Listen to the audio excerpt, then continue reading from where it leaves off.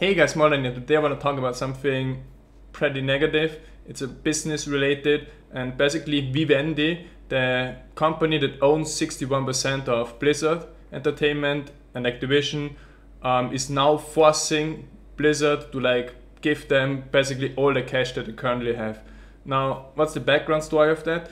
Um, Vivendi is a multinational um, telecommunication company. They do many stuff, um, but they are really like um, having a lot of debt right now. Right now, they have 17 billion US dollar debt, um, which is money that they owe to um, people, banks, and so on. And this is like really a lot of money now. If you've seen Rackful's video, how much 1 billion is worth, imagine 17 billion debt. And what Vivendi is doing now is um, they want to influence or take advantage of their control over Blizzard Activision and take all the money that Blizzard Activision has right now. Now Blizzard has like 4 billion US dollar right now, but only like half of that is in the US and half of that is like in the rest of the world, like in Europe, in Asia and that kind of stuff. And the problem is if Blizzard um, would like take those that money from Europe and Asia and so on and get it or transfer it to the US, um, they would have to pay like 50% taxes on it. So that's nothing they can do. So the only chance now Blizzard has um, or Activision, the only chance they have right now is um, to take on debt themselves. Um, in addition to like paying all the cash that they have in the US right now, just to pay that one dividend that Vivendi is asking for. And this is a pretty bad event because Blizzard needs that money to like invest into new um, acquisitions and that kind of stuff. And yeah, I mean, sure, like sometimes Activision and um, to, like together with EA, Activision is often considered as like the devil of the video games industry, the evil and stuff with like many innovative methods to make money and Call of Duty, like always releases and stuff. But that doesn't make it any less sad that an even bigger force, an even bigger bully by the name of Vivendi is taking advantage of like Blizzard Activision, who has been a successful company, like they have been making profit all the years without taking on any debt. Um, and like Vivendi is now like trying to cover their own mistakes, like their own losses with money from Blizzard. And this, is, as I said, is really sad.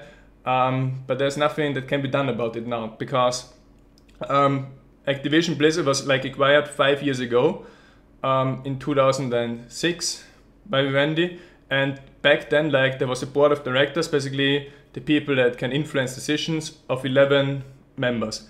And six of those members are from Vivendi. So this means like if there's any matter to be discussed, those six members, like Vivendi has the majority and they can decide anything.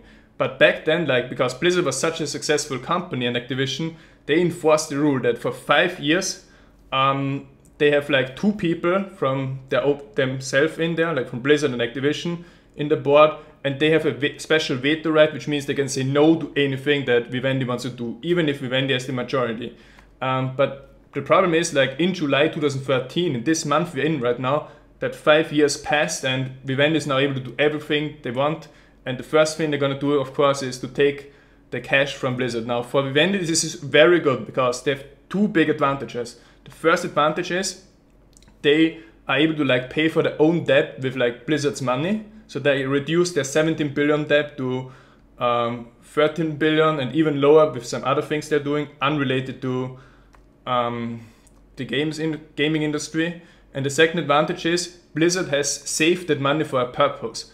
Blizzard Activision have saved this money so that one at one point they're gonna be able to like buy themselves out of Vivendi. Like they weren't happy satisfied with that. Bobby Kotick like wanted to buy Activision Blizzard back out of Vivendi but if they have to pay like all the cash that they have now to Vivendi, they don't have any money to do that anymore. So that's another problem right now. Vivendi actually tried to sell Blizzard Activision um, some time ago, but um, no one was interested. Like people or like big companies don't really see World of Warcraft and that as like very fast growing markets, and that's a problem in my opinion.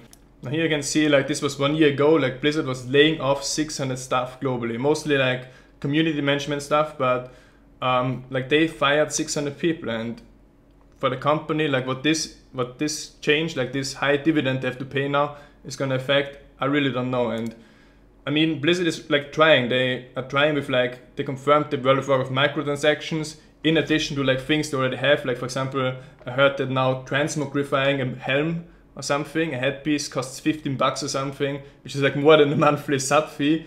But um, it seems like they're doing everything now to make um, everything profitable again. But I really don't know where this is gonna lead to. Um, I've seen a pretty good post here on Runic Games forum, um, which is basically made by some of the developers of the original Diablo 1 and 2. And what um, user Nerf Toy or Nerf Fight Toy was saying, um, back in 2003, Max Schaefer, Eric Schaefer, and David Brevik, the three big names behind Diablo, walked away from Blizzard North with Bill Roper and so on. And basically, the reason for this was Vivendi was of the opinion the future was World of Warcraft and not Diablo. Because Diablo was also planned as MMO and Vivendi really wanted to go all out on World of Warcraft instead of Diablo. And consequently, Blizzard North, which had been working on two new titles, one of them being Diablo 3, one of them, I don't know, being something else that we will never know, um, yeah, departed or petitioned, and anything they've done on the unnamed Diablo project was scratched. And yeah, in the year 2013, now Vivendi is having that high debt. And what he also says in one of the next um, posts is um, this here.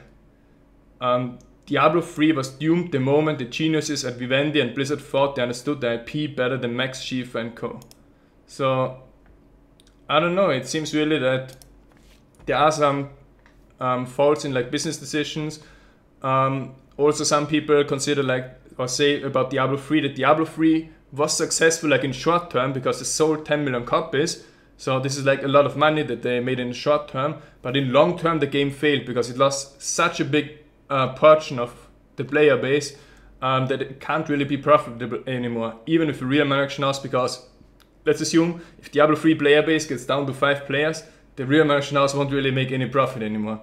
And those are things to consider. I really hope that Blizzard is gonna stay a successful company. They, they're gonna be able to like get back on track again, get those good games out, games that sell a lot, um, make the money so they can survive as a company. But they probably have to work on them, like they have to work on their projects um, and really get to the old Blizzard back. The, the old Blizzard that worked on Diablo 1, Diablo 2, World of Warcraft Classic, Burning Crusade, and those kind of games. The last thing here I want to show is the BCG matrix. This basically um, shows business units or games in our case um, with two axes. Here you can see market share on the x-axis, high market share is here on the right side, and market growth on the y-axis, which means on the top um, there are games or industries with high growth. Now, if we take a few examples, for example, World of Warcraft. World of Warcraft right now is definitely in the cash cow. They have a very large market share of the MMO market, but it's not really growing. In fact, it's actually like losing subscribers. It's actually losing.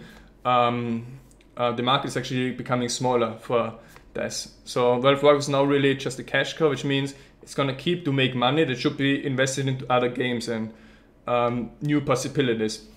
Um, then, for example, you have to uh, have games like question marks. This is usually like all new games or games where you're not sure yet if it's going to be a success, if it's going to be not a success. You could enter here, for example, Wildstar, Elder Scrolls Online, all that kind of stuff.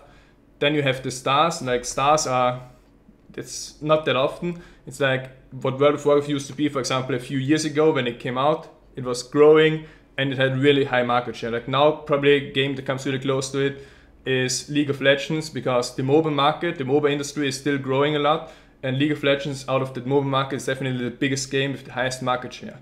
Now, dogs um, are usually games that are about to die or to die out. They usually get closed down then. Um, don't really have an example for that right now. Um, but what's also important is like the cycle of this. Usually, like a game starts as a question mark. For example, let's take um, Hearthstone. Hearthstone is now a question mark. We don't know how it's going to be. Diablo 3 um, on PlayStation is also a question mark. Um, but if those games like are successful, then they're gonna be stars. Then they're gonna be stars. They're gonna make a lot of profit. They're gonna be like the flagship games of companies. But after that, like after some time, after a few years, every game usually um, doesn't like grow anymore. No grow, uh, no game grows for like unlimited time. So then they go back to cash cows where like this is exactly the state World of Warcraft is in right now. World of Warcraft is now in cash cow, so Blizzard tries to make item shops, everything, transmogrify, cost, just to extract as much money from the game while they still can. And ultimately, all games eventually gonna end up as dog, no matter how good they are. For example, Counter Strike 1.6 used to be like a very dominant, probably the most popular game for a few years, but now it's really not that popular anymore. There are no tournaments and that kind of stuff. So that was my view on that topic. It was business related, but still interesting uh, because we are all gamers. We all play Blizzard games and stuff, and it's good to know like what's going on behind the scenes and how things work in like in the real world out there on the business side. So thanks for watching. I'll be back.